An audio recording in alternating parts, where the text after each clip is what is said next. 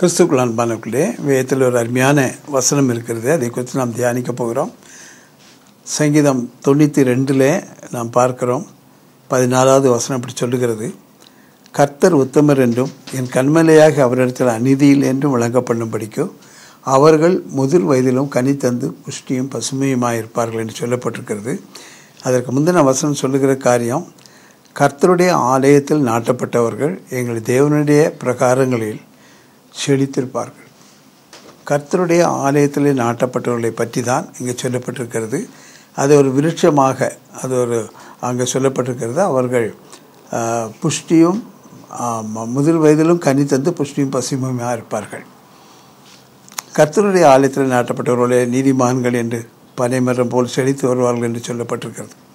ஒரு கிறிஸ்தவர்களுடைய வாழ்க்கையை ஒரு மரத்துக்கு ஒப்பிட்டு ஒரு விருட்சத்துக்கு ஒப்பிட்டு தான் வேதம் சொல்லிக்கொண்டு வருகிறது.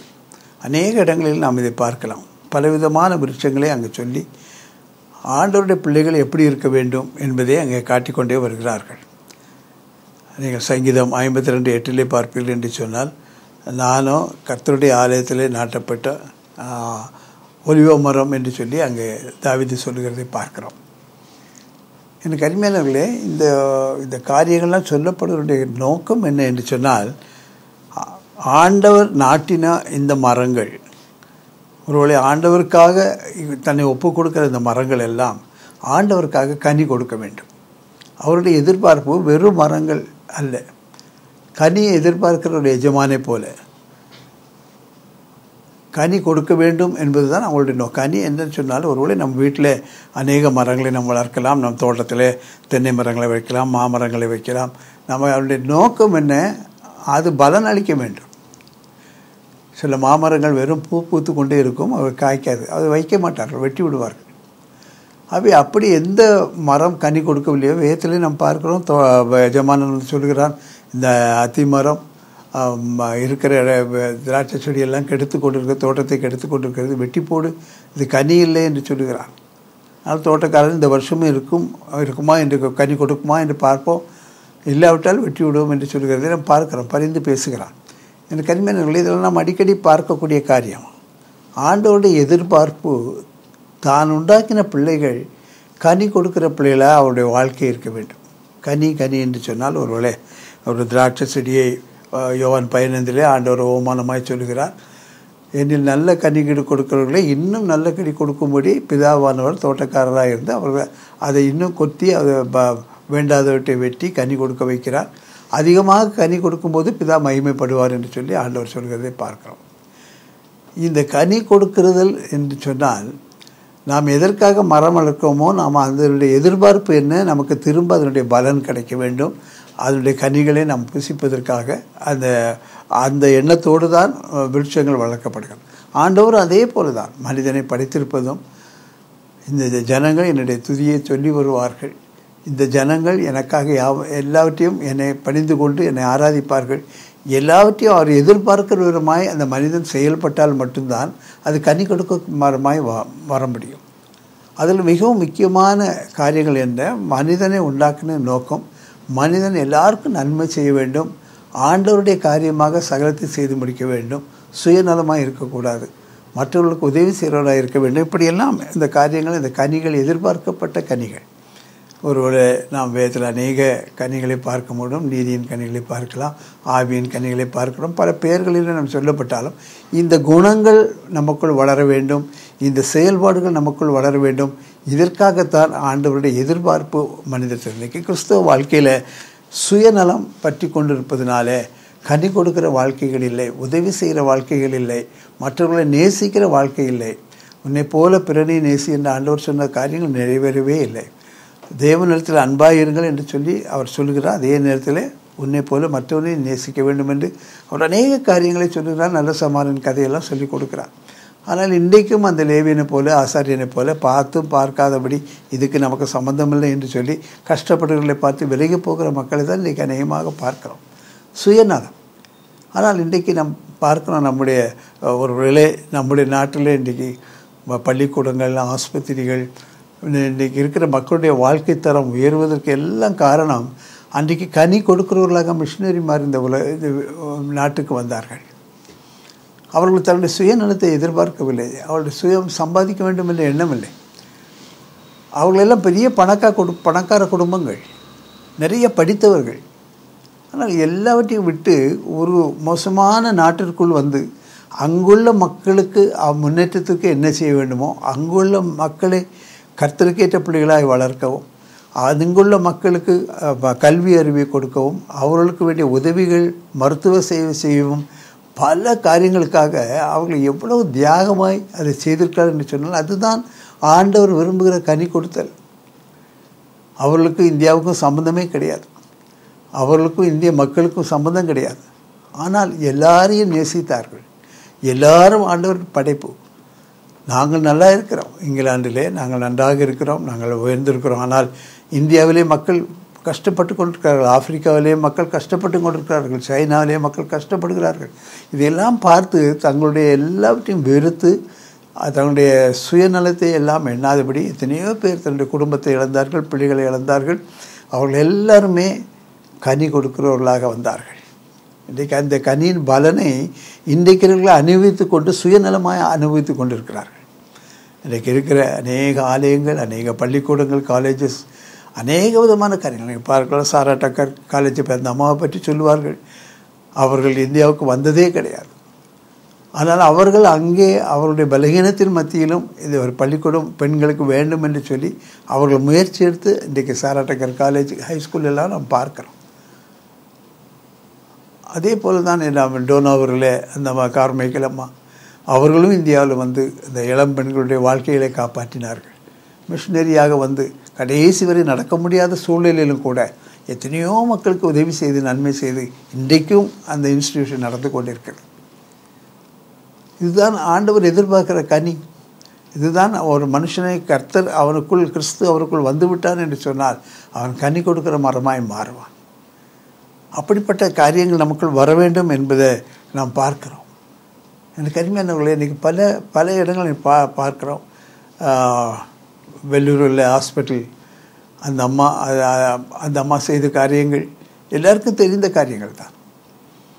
அவை அப்படி ஒவ்வொரு இடங்களிலும் இன்றைக்கு மிஷினரிமார் இன்றைக்கு உண்டாக்கி வைத்தது தான் இன்றைக்கு இருக்கிறவர்கள் அனுபவித்து கொண்டிருக்கிறார்கள் இன்றைக்கு இருக்கிறவர்கள் அதை சுயநலத்துக்காக பயன்படுத்தி கொண்டிருக்கிறார்கள் என்று தான் நாம் சொல்ல முடியும்.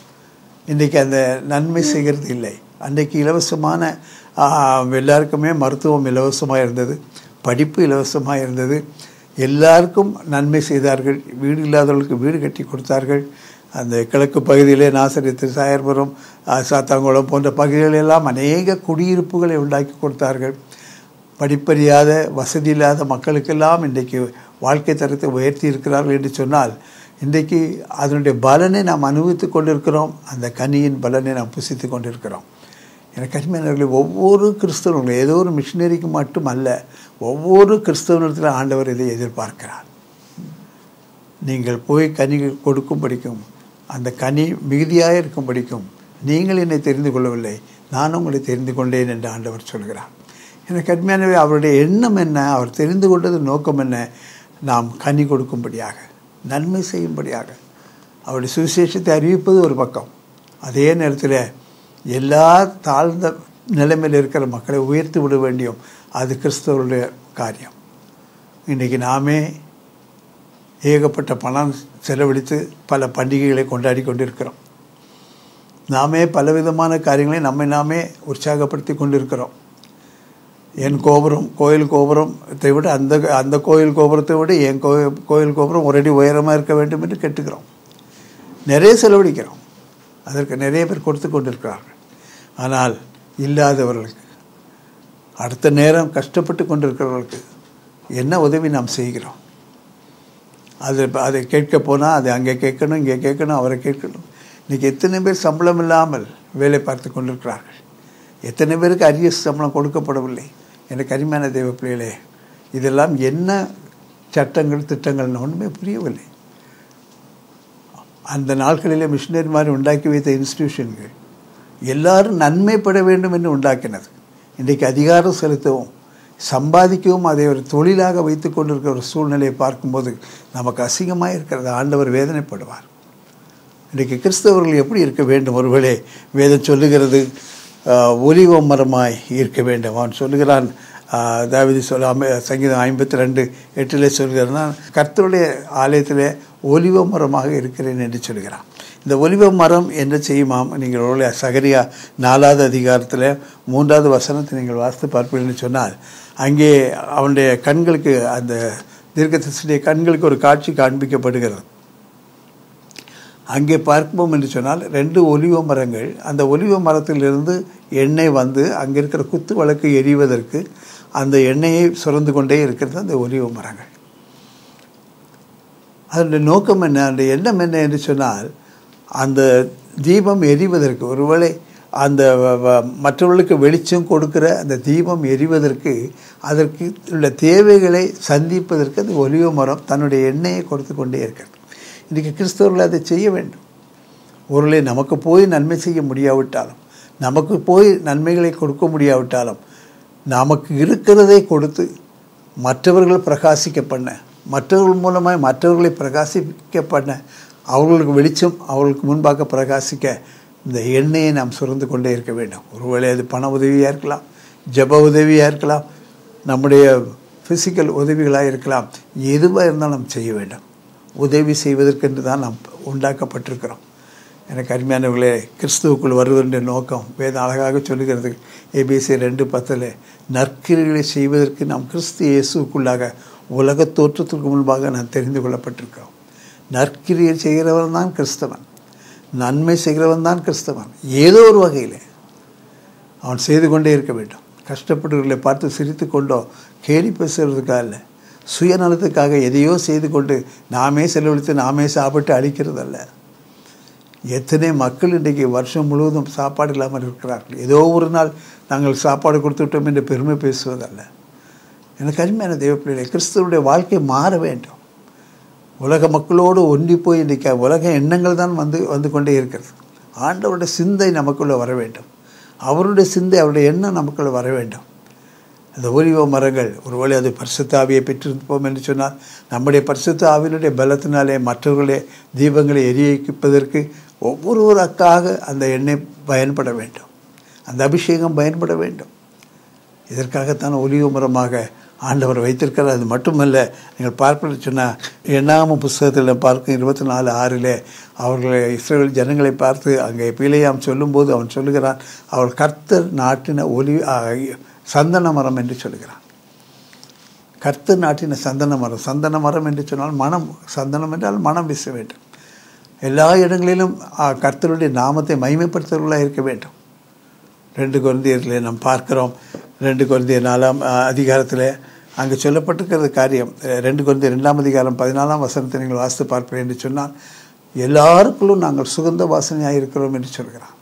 கர்த்தரை அறிகிற அறிவை வீசுகிற சுகந்த வாசனையாக இருக்கிறோம் என்று பௌலபசன் சொல்கிறான். ஆகவே அந்த வாசனை எல்லா இடத்திற்கும் பரவ வேண்டும். ஒரு நாள் மரியாள் ஆண்டவருடைய பாதத்தில் அவர் பெரிய நலதம் என்கிற அந்த பரிமள தைலத்தை அவர் உடைத்து ஊற்றின போது அந்த வீடு முழுவதும் மனத்தால் நிறைந்தது என்று சொல்லி நாம் பார்க்கிறோம். யோவான் பன்னிரெண்டாம் அதிகாரத்தை வாசித்தால் தெரியும். அவை ஆண்டவருடைய பிள்ளையாய் ஒருவன் இருக்கிறான் என்று சொன்னால் அதனுடைய நற்கந்தம் வீச வேண்டும். அது அதற்குத்தான் அவருடைய நாமம். அவருடைய நாமத்தை பற்றி சொல்லும்போது உன்னத பாட்டில் நாம் பார்க்கிறோம். ஒன்று மூன்றில் அவருடைய நாமம் பரிமள தைலம். அவருடைய நாமம் நமக்கு தரிக்கப்பட்டிருக்கிறது. அவருடைய நாமத்தில் தான் நாம் கிறிஸ்தவன் என்று அழைக்கப்படுகிறோம். அப்படியான நாம் இருக்கிற இடம் நாம் போகிற இடம் வேலை பார்க்குற இடம் நாம் செய்கிற தொழில் எல்லாவற்றிலையும் அந்த கிறிஸ்துவின் மனம் வீச வேண்டும். இன்றைக்கி பிரசங்கி பத்து ஒன்றில் சொன்னது போல் செத்தையை பரிமளத்தை நார வைக்கும் என்று சொன்னது போல் ஒரு சிலருடைய மோசமான நடக்கைகள் இன்றைக்கு தேவனுடைய அப்பா அப்பாவுடைய பெயரை அங்கே கெடுத்து கொண்டிருக்கிறதை நாம் பார்க்கிறோம். எனக்கு அருமையானவர்களை எவ்வளோ பயங்கரம். ஆனால் சந்தன மரமாக நாட்டப்படும் கிறிஸ்தவன் என்று சொன்னால் மனம் வீச வேண்டும். அவன் இருக்கிற இடம் சுகந்த வாசனையாக இருக்க வேண்டும். எல்லாரும் போற்றத்தக்கதாக இருக்க வேண்டும். அப்படிப்பட்ட ஒரு வாழ்க்கை வாழ வேண்டும். கிறிஸ்தவர்களாக அவர்கள் வந்தால் உதவி செய்வார்கள் கிறிஸ்தவர்களாக அவர்கள் வந்தால் நன்மை செய்வார்கள். அப்படிப்பட்ட எண்ணங்கள் வர வேண்டும். இன்றைக்கு கிறிஸ்தவர்கள் என்றால் உடனே நாங்கள் ஆராதிப்போம் நாங்கள் துதிப்போம் நாங்கள் பாட்டு போடுவோம் என்ற ஒரு சத்தத்தை மட்டும்தான் வைத்துக் கொண்டிருக்கிறார்கள் ஒழிய நாங்கள் எல்லாம் ஊரெல்லாம் சென்று ஆண்டவரை சொல்லுவோம் என்று சொல்கிறோம் நல்லதுதான். ஆனால் நீ வெறுமனே வாய்ப்பேச்சுன்னு சொல்லுவதல்ல இல்லாதவர்களுக்கு உதவி செய்ய வேண்டும். அன்றைக்கு வெள்ளை அந்த மிஷினரிமார்கள் எவ்வளோ பாடுகள் பட்டு எவ்வளவு தூரம் அவர்கள் எல்லா பக்கமும் கலெக்ட் பண்ணி இங்கே வந்து ஆஸ்பத்திரிகளை கட்டி இலவசமான வைத்தியங்களை பண்ணி கொடுத்தார்கள். இன்றைக்கி அதை செய்வதற்கு நமக்கு மனசு இல்லை பணம் இருக்கிறது. நிறைய பணம் இருக்கிறது ஆனால் செய்வதற்கு மனசு இல்லை. எனக்கு கடுமையானவர்களே அதுதான் இந்த நாளில் உள்ள பயங்கரங்கள். கிறிஸ்தவம் வளராமல் இருப்பதற்கு ஒரு காரணம் நம்முடைய சுயநலம். அர்ப்பணிப்பு இல்லை. இது மாற வேண்டும். இந்த அதற்காக நாம் ஜெபிக்க வேண்டும். அது மட்டுமல்ல அங்கே சொல்லப்பட்டிருக்கிறது இந்த கர்த்தர் நாட்டின நீதியின் விருஷம் என்று சொல்லப்பட்டிருக்கு அது இங்கே ஏசாய அறுபத்தொன்னில் மூன்றாவது வசனத்தை நீங்கள் வாசித்து பார்ப்பேன்னு சொன்னால் சாம்பதுக்கு போல சிங்காரம் துயரத்துக்கு போல ஆனந்த தைலம் ஒடுங்கின ஆவிக்கு போல துதியினுடைய கொடுக்கவும் கர்த்தரனை அபிஷேகம் பண்ணினார் என்று சொல்லிவிட்டு அவர்கள் கர்த்தர் தம்முடைய மகிமைக்கென்று நாட்டின நீதியின் விருட்சங்கள் என்று சொல்லப்பட்டிருக்கு. அவர்கள் யார்? அவர்கள் சாம்பலில் இருக்கிறவர்கள் துயரத்தில் இருக்கிறவர்கள். அப்படிப்பட்டவர்களுடைய துயரங்களை மாற்றி அவர்களையெல்லாம் கர்த்தருடைய சாட்சிகளாய் கொண்டு வருவது தான் அவர்களெல்லாம் நீதியின் விருட்சங்களாய் தேவனுடைய நாம மகிமைக்கென்று நாட்டப்பட்டவர்கள். துக்கத்திலும் பாடுகளிலும் வியாதிகளிலும் கடன் பிரச்சனையிலும் இன்றைக்கி கஷ்டப்பட்டு துன்பப்பட்டு நாங்கள் என்ன செய்வோம் என்று தவித்து கொண்டிருக்கிற மக்கள் இன்றைக்கு என்ன உதவியற்று இருக்கிற மக்களுக்கெல்லாம் உதவி செய்து அந்த பிள்ளைகளெல்லாம் கர்த்தரை அறிய வைத்து அவர்கள் தேவனை மயமப்படுத்துகிற பிள்ளைகளாய் மாறுவார்கள். பாடுகளும் கஷ்டங்களும் அனுபவிக்கிறவர்களை தான் சொல்லியிருக்கிறது அவர்கள் என்ன நாம மயமைக்குன்னு நாட்டப்பட்ட நீதியின் உச்சங்கள் அவர்கள் என்ன செய்வார்கள்? நீங்கள் ஒருவேளை அந்த ஏசை அறுபத்தி ஒன்றாம் அதிகாரத்தை நீங்கள் வாசித்து பாருங்கள் வீட்டிலே. அவர்கள் நெடுங்காலம் பாளைய கடந்தவர்களை கட்டி பூர்வ காலத்தில் நிர்மூலமாய் எங்களை எடுத்து கட்டுவார்கள். அவர்கள் தேவனுக்காக சகலம் செய்வார்கள். அவர்கள் சகலத்திலும் ஆசாரில் என்று அழைக்கப்படுவார்கள். அவர்கள் வெட்கத்துக்கு பதிலாக ரெண்டத்தனையாக அங்கே ஆசீர்வதிக்கப்படுவார்கள் என்று சொல்லி வரிசையாக பல ஆசீர்வாதங்கள் அங்கே சொல்லப்பட்டிருக்கிறது நாம் பார்க்குறோம். காரணம் என்ன? அவர்கள் தேவனுடைய நாம மகிமைக்கென்று நாட்டப்பட்ட அவருடைய நீதியின் விருட்சங்கள் என்று சொல்லப்பட்டிருக்கிறது. கஷ்டப்படுகிறவர்கள் சியோனிலே கஷ்டப்படுகிறவர்கள் துயரப்படுகிறவர்கள் சாம்புகள் பதிலாக அவர்களுக்கு சிங்காரத்தை கொடுக்க வேண்டும் யாரெல்லாம் துயரப்பட்டு வேதனைப்பட்டு கொண்டிருக்கிறார்களோ அவர்கள் எல்லாரும் அவருடைய நாம மயமிக்கென்று இருக்கிறார்கள் ஒரு பிறவி குருடன் அவன் ஏன் இப்படி பிறந்தான் என்று சொல்லும்போது ஆண்டவர் ஒரு வார்த்தை சொன்னார். அது பெற்றோருடைய தவறும் இல்லை அவனுடைய தவறும் இல்லை தேவனுடைய நாம மகிமைக்காக அவளுடைய நாமத்துக்காக அவனுக்குள்ள நான் பிறந்திருக்கிறேன். என்றால் ஒரு நாளில் அவன் கண் திறக்கப்பட்டு தேவன் மகிமைப்பட மாட்டோம் சப்பானியாய் அலங்கார வாசலில் உட்கார்ந்துருக்கிறான். இயேசு கிறிஸ்து பிறப்பதற்கு முன்னாலே அவன் உட்கார்ந்துருக்கான் அவனுக்கு நாற்பத்தி ரெண்டு வயசுக்கு மேலே. இயேசு கிறிஸ்து எத்தனையோ தடவை அதனுடைய போனால் அவர் அவன் குணமாக்கப்படவில்லை. எதற்காக வைக்கப்பட்டிருக்கிறான்? பேதரும் யோவானும் போகும்போது குணமாக்கப்பட்டு தேவனை மக்கள் பயமைப்படுத்த வேண்டும். தேவ திட்டம். இன்றைக்கு குறைகளோடு பாடுகளோடு இருக்கிற எல்லாரையும் கொண்டு தேவன் மகிமைப்பட்டு கொண்டிருக்கிறார். அவர்களெல்லாம் அவருடைய நாம மகிமைக்கென்று நாட்டப்பட்ட நீதியின் விஷயங்கள். நாம் மறந்து போகக்கூடாது. எனக்கு அருமையான தேவ பிள்ளைகளே ஆண்டவரே ஆண்டவருடையக்காக நாம் செய்கிற ஒவ்வொரு காரியத்திலும் ஆண்டவருக்காக செய்கிற நன்மை ஒவ்வொன்றுக்கும் அவர் நூறுத்தனையான பலனை கொடுப்பார். அதே நேரத்தில் அந்த நன்மைகள் தொடரும். ஒவ்வொருவரும் நன்மை பெற பெற மற்றவர்களுக்கு நன்மை செய்வார்கள். அவர்கள் பெற்ற நன்மையை சொல்லுவார்கள். இப்படி கர்த்தருடைய நாமம் மகிமை கொண்டே போகும். இதுதான் ஆண்டவருடைய காரியம். அதுதான் கனி கொடுக்குற வாழ்க்கை. ஒவ்வொரு விருட்சமாக அவர் எந்த மரமாக இருந்தாலும் சரி நீங்கள் சந்தன மரமாக இருந்தாலும் சரிதான் ஒலிவு மரமாக இருந்தாலும் சரிதான் நீதியின் விருட்சங்களாக இருந்தாலும் சரிதான் எல்லாம் ஆண்டவருக்கென்று அவருடைய நாம மகிமைக்கென்று நாட்டப்பட்ட விருட்சங்கள். உலகம் முழுவதும் ஆண்டவரை அறிந்து கொண்டு ஆண்டவருடைய நன்மையை எல்லாரும் ருசிக்க வைப்பது தான் ஒரு கிறிஸ்தவனுடைய வாழ்க்கை. இதற்கு என்ன வழி உண்டோ அதைத்தான் நாம் யோசிக்க வேண்டும். ஏதோ மூன்று பாயிண்ட் வைத்து பிரசங்கம் பண்ணி அந்த பிரசங்கத்தை கேட்டுவிட்டு அது என்ன சொன்னார்கள் என்றே தெரியாத அளவுக்கு வீட்டுக்கு போகிற அளவுக்கு அல்ல. நான் ஏழு பாயிண்ட் பிரசங்கம் பண்ணினேன் ஐந்து பாயிண்ட் அப்படி அல்ல. மக்களை நற்கிரியை செய்ய பழக்குவிக்க வேண்டும். தீத்துவுக்கு எழுதுகிறார் பௌலப்போஸ்லன் தீத்து புஸ்தகம் மூன்றாம் அதிகாரத்தில் வாசித்து பாருங்கள். மூணாம் வசனம் எட்டாம் வசனம் பதினாலாம் வசனம் எல்லாம் என்ன சொல்கிறது? சபையோரை நற்கிரியை செய்ய பழக்குவி என்று சொல்கிறார். இன்றைக்கு சபையை நற்கிரியை செய்ய பழக்க வைப்பதில்லை பத்தில் ஒன்று கொடுப்பதுக்கு தான் நாம் பழக்க வைக்கிறோம் எங்கே போய் கொண்டிருக்கிறது கிறிஸ்தவம்? எனக்கு அருமையான தெய்வ பிள்ளைகளை உணர வேண்டும். ஆப்பிரிக்கா தேசத்திற்கு அனுப்பப்பட்ட ஒரு பெண் மிஷினரியாக அனுப்பப்பட்டாள். அவள் போகும்போது அங்கே ஒரு பள்ளிக்கூடத்தில் பாடம் எடுத்து கொண்டிருந்தாள். அவள் பாடம் எடுக்கும்போது அங்கே ரெண்டு பிள்ளைகள் அதிகமாக சேட்டை பண்ணி விளையாடி கொண்டிருக்கோம். அந்த ஆப்பிரிக்கன் பிள்ளைகள். அதில் ரெண்டு பேருக்கு அவர் ரொம்ப அந்த சி- அந்த அம்மாவுக்கு கொஞ்சம் ரொம்ப பெற்றாக பழகினார்கள். ஒரு பெண் பிள்ளையும் ஒரு ஆண் பிள்ளையும். அந்த பெண் குழந்தைக்கு இவரே இவங்களே பேர் வைத்தார்கள் லில்லி என்று. ஆண் பிள்ளைக்கு மார்ட்டின் என்று பெயர் வைத்தார்கள். அதிகமாக சேட்டை. ஒரு நாள் அவர் ப பாடம் எடுத்துக்கொண்டு இருக்கும்போது அந்த மார்ட்டின் ரொம்ப சேட்டை பண்ண உடனே பக்கத்து ரூமில் கொண்டு அடைத்து போட்டு இங்கே கடடா என்று சொல்லி அடைத்து விட்டு வந்து விட்டார்கள்.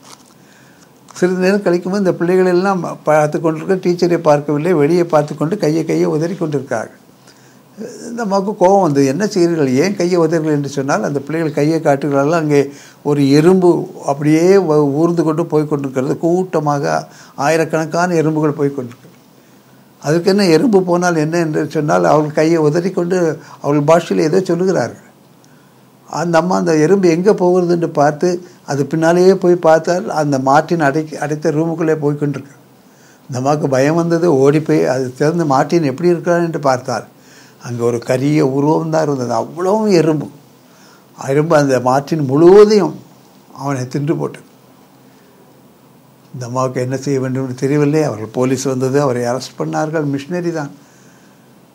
அவர்கள் அநேகம் அந்த லில்லிக்கெல்லாம் நிறைய பாடங்கள் அவர்கள் வேதத்தை பற்றி சொல்லி கொடுத்திருந்தார்கள். ஆனாலும் அவர்கள் சிறையில் பத்தாண்டு அவருக்கு சிறை ஆண்டு கொடுக்கப்பட்டது. அழுதார்கள்.